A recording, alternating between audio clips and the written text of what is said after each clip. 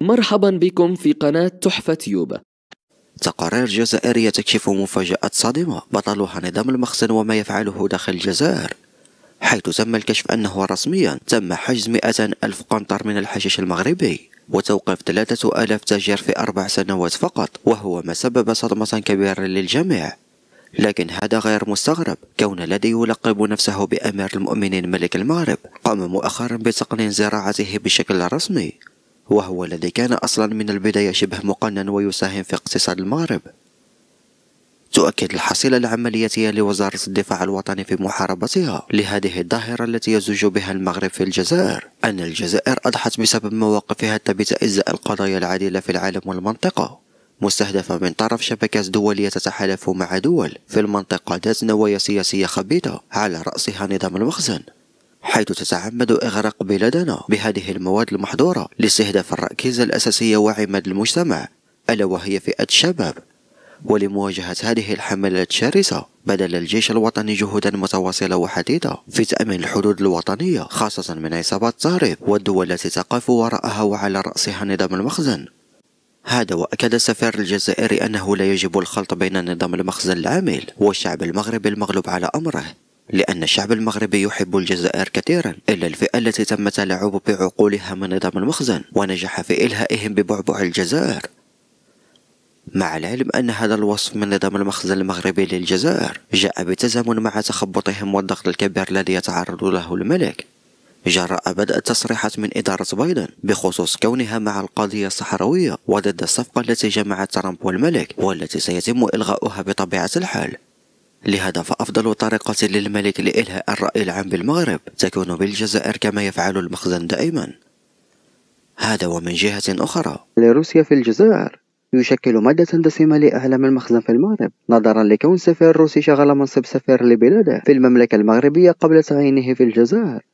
إذ قرر بوتين فجأة إقالة هذا السفير من المغرب وتحويله مباشرة إلى الجزائر كما ذكرنا سابقا. ما أثار ريبة النظام المغربي الذي تخوف من الخرجة معلنا إياها الآن بصراحة لأن السفير المعين في الجزائر لديه تجربة طويلة وعريضة وكان خاضعا لحالة من الضغط في المغرب. ولهذا وفق محلل جزائري وروس تعمد بوتين إرسال رسالة مباشرة للنظام المغربي بتلك الخرجة الأخيرة حول السفير وتحويله للجزائر. لتتأزم العلاقة بين روسيا والمغرب بهذا التوتر الجديد الذي يطفو على السطح وحركة بوتين أثارت خوف الملك المغربي لأن هذا السفير له تجربة كبيرة في المغرب. سينقل كل شيء للجزائر والمخزن متخوف من هذه النقطة ضعفهم. أين يرى نور الدين أيت جودي للشروق؟ أن التجربة الطويلة للسفير الروسي في الجارة المغربية مكنته من بلورة رؤية ذرية فيما يتعلق بالمجتمع المغربي ودواليب تسيير شؤون دولة هناك. إن تعلق الأمر بنظام المخزن أو الملك محمد الثالث ومحيطه وكل هذه المعطيات تزيد من منسوب تخوف الملك وأصدقائه من هذا التعيين.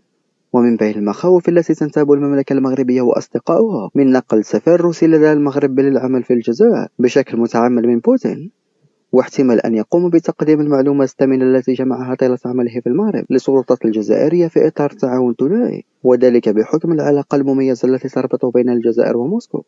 فما رأيكم في ذلك؟ هذا ومن جهة أخرى. أخبار اليوم. مفاجأة تاريخية من الروس للجزائر ولن تصدق ماذا سيحدث. وماذا ستبيع للجزائر والأولوية في أقوى خرجة فهي أكبر خطوة من الروس تجاه الجزائر. في ظل سباقها المستمر مع الأمريكان والأوروبيون فماذا حدث بالتفصيل بينهم؟ بداية كشفت العديد من الصحف العالمية مفاجأة مدوية بخصوص الخطوة المبهرة بين الجزائر وروسيا.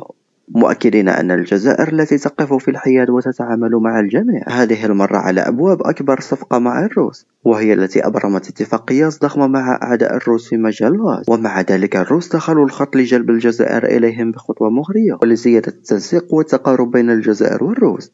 حيث كشفت مجلة Military Watch المختصة في الشؤون العسكرية أن روسيا أعطت الضوء الأخضر لتبيع منظومة إس 500 للجزائر والتي ستبيعها لعدد قليل جدا من الدول التي تثق فيها وتعتبرها من حلفائها فقط وترفض العديد من طلبيات الدول الأخرى التي تريد الشراء وقال أزداد الصحف والمحللون أن الجزائر في قائمة من ثلاث دول فقط أي بجانب الصين والهند كسبناء حصريين لأس 500 في العالم.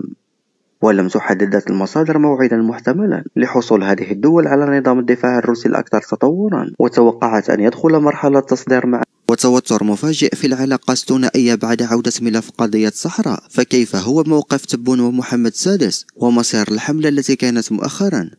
البداية أولا مع عبد الإله بن كيران رئيس الوزراء السابق في المغرب فاتحا موضوعا مهما جدا بقوله إن استمرار شراء المملكة المغربية للبترول من روسيا لا يخدم مصالح الرباط والجزائر.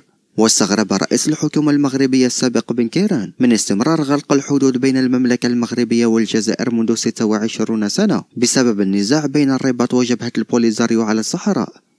مطالبا بوضع حد للخلافات الواقعة بين البلدين وأنه من العيب أن يظل الخلاف بين الجزائر والمغرب كل هذه المدة الطويلة رغم أننا جيران ولنا ثقافة ودين واحد.